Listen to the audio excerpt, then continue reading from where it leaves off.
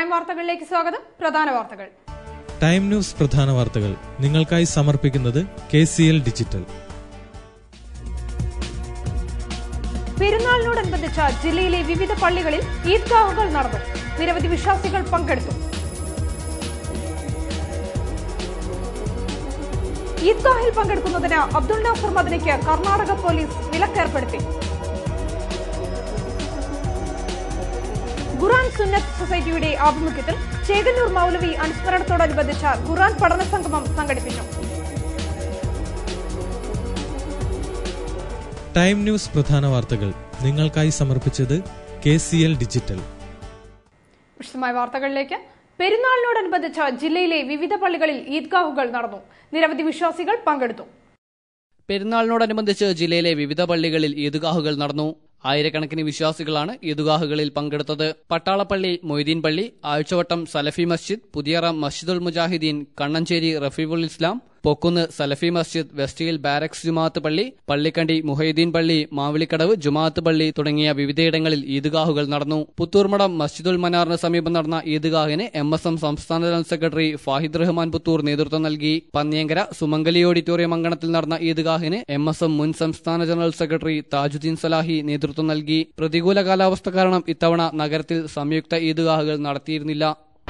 Quality ഇംപ്രൂവ്മെന്റിന്റെ ശില്പശാലകൾ നടത്താറുണ്ട് work ശില്പശാലകളായിട്ടും ശില്പശാലകളായിട്ട് അതുപോലെ തന്നെ അവരുടെ കഴിവും യോഗ്യതയും മെച്ചപ്പെടുത്താനുള്ള പരിശീലന കളരികളായിട്ട് എല്ലാ നിലക്കും ക്ലസ്റ്ററുകൾ എന്ന പേരിൽ പല പേരിൽ ആളുകളുടെ കഴിവിനെ മെച്ചപ്പെടുത്താൻ വിശ്വാസികളായ നമ്മൾ നമ്മുടെ തത്വയെ ശക്തിപ്പെടുത്താൻ വിശ്വാസത്തെ ദൃഢപ്പെടുത്താൻ ഒരു മാസത്തെ പരിശീലന കളരി കഴിഞ്ഞ് പുറത്തിറങ്ങിയവരാണ് നമ്മൾ. റമദാൻ ഒരു പാഠശാലയിൽ മനുഷ്യനെ തത്വ പഠിപ്പിക്കുന്ന വിശുദ്ധി മനസ്സിലേക്ക് പെയ്തിറങ്ങുന്ന ജീവിതം മുഴുവൻ ആത്മീയമായ സാക്ഷാത്കാരത്തിന് വേണ്ടി പണിയെടുക്കാൻ നമ്മെ പാകപ്പെടുത്തിയ ഈദ്ഗാഹിൽ പങ്കെടുക്കുന്നതിന് അബ്ദുൽ നാസർ മദനിക്ക് വിലക്ക്. കർണാടക പോലീസാണ് വിലക്ക് ഏർപ്പെടുത്തിയത്. ബാംഗ്ലൂരിലെ ആശുപത്രിയിൽ ചികിത്സയ്ക്കിടെ ഈദ്ഗാഹിൽ പങ്കെടുക്കുന്നതിന് അബ്ദുൽ നാസർ മദനി പോലീസിൽ അപേക്ഷ സമർപ്പിച്ചിരുന്നു. എന്നാൽ കർണാടക പോലീസ് ഈദ്ഗാഹിൽ പങ്കെടുക്കുന്നതിന് മദനിയെ വിലക്കുകയായിരുന്നു. ആശുപത്രി വിട്ട് പുറത്തുപോകാൻ പാടില്ലെന്നും ചികിത്സയ്ക്കായുള്ള ജാമ്യത്തിൽ പുറത്തിറങ്ങി മറ്റു പരിപാടികളിൽ പങ്കെടുക്കാനാകില്ലെന്നും കർണാടക പോലീസ് അറിയിച്ചിട്ടുണ്ട്. ഖുറാൻ സുന്നത്ത് സൊസൈറ്റിയുടെ ആഭിമുഖ്യത്തിൽ ചേകന്നൂർ മൗലവി അനുസ്മരണത്തോടനുബന്ധിച്ച് ഖുറാൻ പഠന സംഗമം സംഘടിപ്പിച്ചു. കെ എസ് സംസ്ഥാന പ്രസിഡന്റ് അബ്ദുൾ റഹ്മാൻ കൂത്തുപറമ്പ് പരിപാടി ഉദ്ഘാടനം ചെയ്തു. ഖുറാൻ സുന്നത്ത് സൊസൈറ്റിയുടെ ആഭിമുഖ്യത്തിൽ ചേകന്നൂർ മൗലവി അനുസ്മരണവും മതഭീകരതാ വിരുദ്ധ ദിനാചരണവും ഖുറാൻ പഠന സംഗമവും സംഘടിപ്പിച്ചു. ടൗൺ ഹാളിൽ നടന്ന ഖുറാൻ പഠന സംഗമം കെ എസ് എസ് സംസ്ഥാന സെക്രട്ടറി അബ്ദുറഹ്മാൻ കൂത്തുപറമ്പ് ഉദ്ഘാടനം ചെയ്തു. കെ എസ് എസ് സംസ്ഥാന president K K Salim Haji അധ്യക്ഷത വഹിച്ചു. ബഷീർ താനാളൂർ മജീദ് സുലമി ഉഗ്രപുരം അബ്ദുൾ ജലീൽ പുറ്റേക്കാട് സൈദലവി അൻസാരി തുടങ്ങിയവർ സംബന്ധിച്ചു.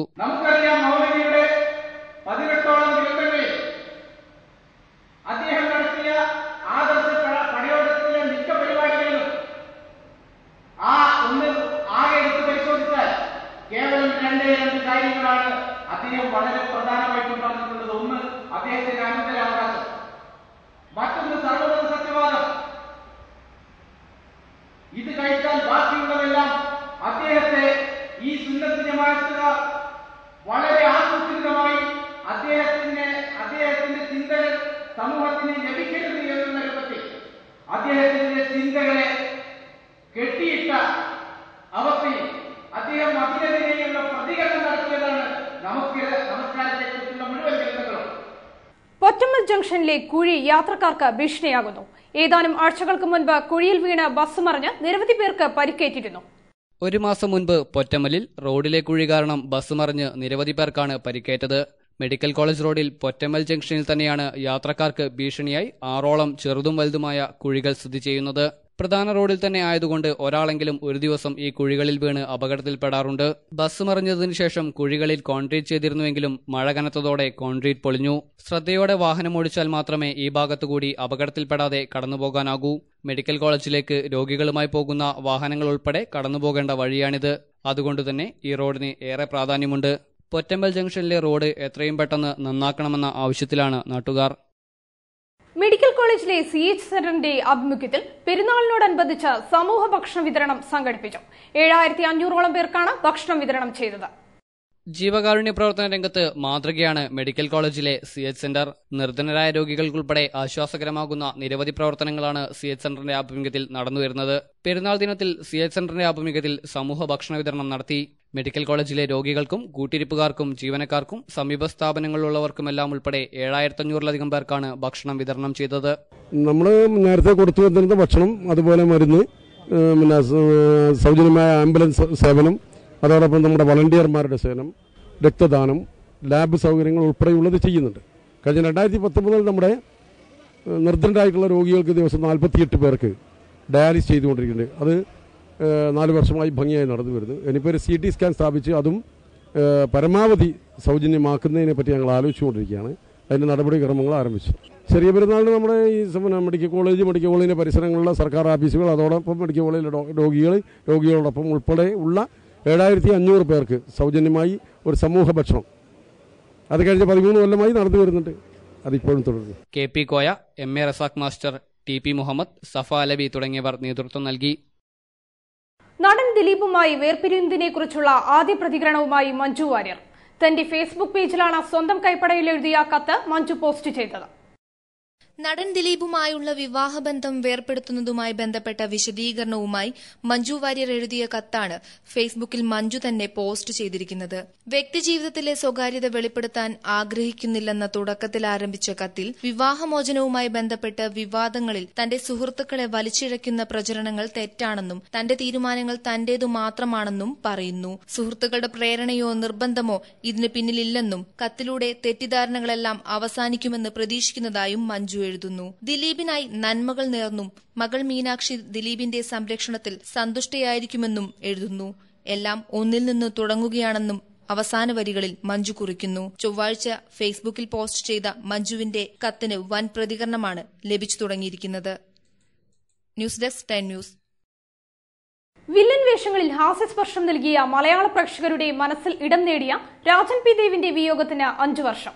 നാടകത്തിൽ നിന്നും ചലച്ചിത്ര ലോകത്ത് കുതിച്ചു കയറിയ തൊമ്മന്റെ സ്ഥാനത്തിന് മലയാള സിനിമയിൽ ഇന്നും പകരം വയ്ക്കാൻ ആരുമില്ല. വില്ലൻ കഥാപാത്രങ്ങൾക്ക് ഹാസ്യത്തിന്റെ മേമ്പടി നൽകി പ്രേക്ഷക മനസ്സിൽ സ്ഥിരകാല പ്രതിഷ്ഠ നേടിയ നടനായിരുന്നു Rajan P Dev.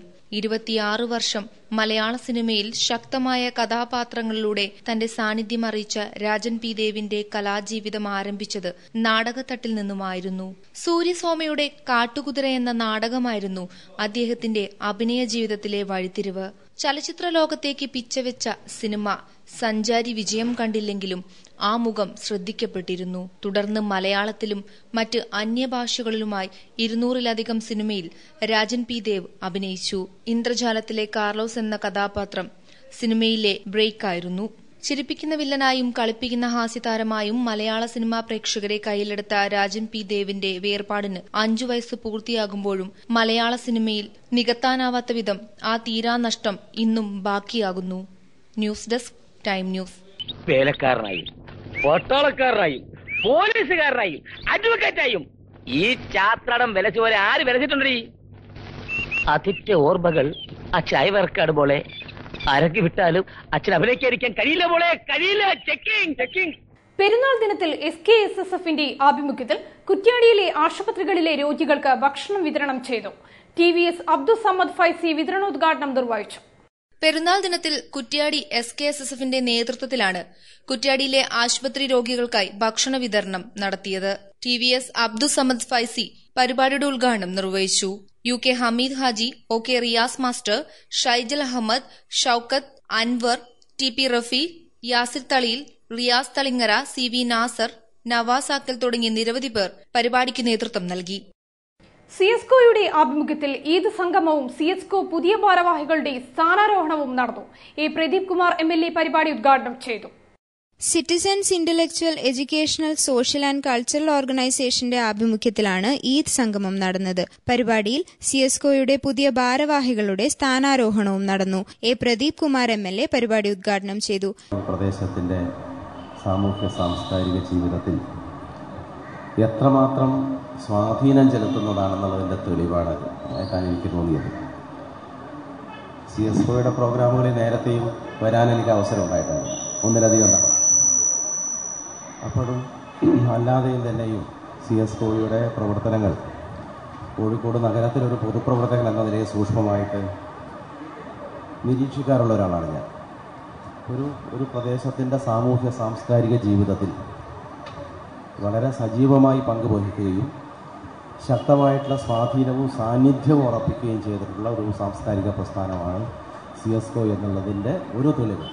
C S കോ അതിന്റെ പുതിയ പ്രസിഡന്റിനെ ന്റെ സ്ഥാനചിഹ്നം അണിയിക്കുന്ന ചടങ്ങ് ഉൾപ്പെടെ നടക്കുന്ന ഈ ഒരു സന്ദർഭത്തിൽ പുതിയ പ്രസിഡന്റിന് സി എസ് കോയുടെ ഏറ്റവും സമ്പന്നമായിട്ടുള്ള ഒരു സാംസ്കാരിക പ്രവർത്തന പാരമ്പര്യം ഇതിനനുസരിച്ച് പുതിയ കാലമാവശ്യപ്പെടുന്ന നിലയിൽ കൂടുതൽ ഊർജസ്വലമായി ഈ സാംസ്കാരിക പ്രസ്ഥാനത്തെ മുമ്പോട്ട് കൊണ്ടുപോകാൻ പ്രസിഡന്റിനും സഹപ്രവർത്തകർക്കും കഴിയട്ടെ എന്നുകൂടെ ഞാൻ ഈ സന്ദർഭത്തിൽ ആശംസിക്കുന്നു. കെ വി അബ്ദുൽ ലത്തീഫ് മൗലവി ഈദ് സന്ദേശ പ്രഭാഷണം നടത്തി. E V Abdul Gafoor M P Chekkuttykoya Sainul Abideen തുടങ്ങിയവർ സംസാരിച്ചു. പ്രധാന വാർത്തകൾ ഒരിക്കൽ കൂടി. ടൈം ന്യൂസ് പ്രധാന വാർത്തകൾ നിങ്ങൾക്കായി സമർപ്പിക്കുന്നത് കെ സി എൽ ഡിജിറ്റൽ. പെരുന്നാളിനോടനുബന്ധിച്ച് ജില്ലയിലെ വിവിധ പള്ളികളിൽ ഈദ്ഗാഹുകൾ നടന്നു. നിരവധി വിശ്വാസികൾ പങ്കെടുത്തു. ഈദ്ഗാഹിൽ പങ്കെടുക്കുന്നതിന് അബ്ദുൾ നാസർ മദനിക്ക് കർണാടക പോലീസ് വിലക്കേർപ്പെടുത്തി. ഖുറാൻ സുന്നത്ത് സൊസൈറ്റിയുടെ ആഭിമുഖ്യത്തിൽ ചേകന്നൂർ മൗലവി അനുസ്മരണത്തോടനുബന്ധിച്ച് ഖുറാൻ പഠന സംഗമം സംഘടിപ്പിച്ചു. ടൈം ന്യൂസ് പ്രധാന വാർത്തകൾ നിങ്ങൾക്കായി സമർപ്പിച്ചത് കെ സി എൽ ഡിജിറ്റൽ. ഈ വാർത്താ ബുള്ളറ്റിൻ ഇവിടെ അവസാനിക്കുന്നു. നമസ്കാരം.